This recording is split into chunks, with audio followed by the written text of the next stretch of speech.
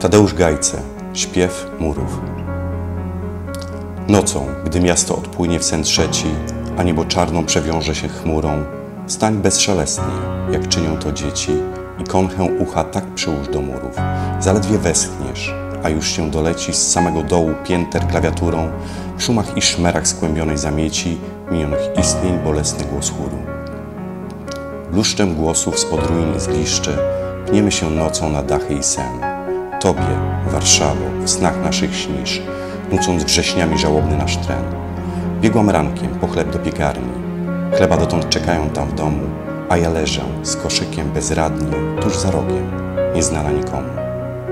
Właśnie ręką chwytałem za granat, żeby czołgi przywitać nim celnie. Ziemia była spękana, zorana, nagle świat mi się zaćmił, śmiertelnie. Myśmy obie wyniosły na noszach, jeszcze kocem okryły mu nogi, bo krzyczeli dookoła, że pożar. Ja na świsku pisałam, mój drogi, bluszczem głosów spod ruin i zgliszczy, pniemy się nocą na dachy i sen. Tobie, Warszawo, w snach naszych śnisz, nucąc wrześniami żałobny nasz tren. Słuchaj tych głosów, żałosnych żarliwie, nim brzask poranny uciszy je w niebie i nowe miasto w napiętej cięciwie dni triumfalnych na nowo pogrzebie. Słuchaj tych głosów, boś po to szczęśliwie ocalon został w tragicznej potrzebie, byś chleb powszedni łamał sprawiedliwiej i żył za tamtych i za siebie lepiej.